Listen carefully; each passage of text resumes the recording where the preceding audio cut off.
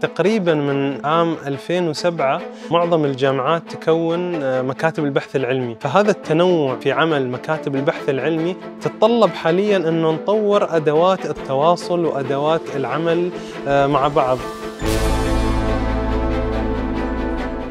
The RDI communities are, are essential, um, linking people together. Qatar goal in 2030 is to transform to a knowledge-based economy. So this is fit right in this area by cultivating them into a community, uh, giving them the space so they can reach out to each other, solve common challenges. This is definitely will help the advancing the research agenda uh, in Qatar.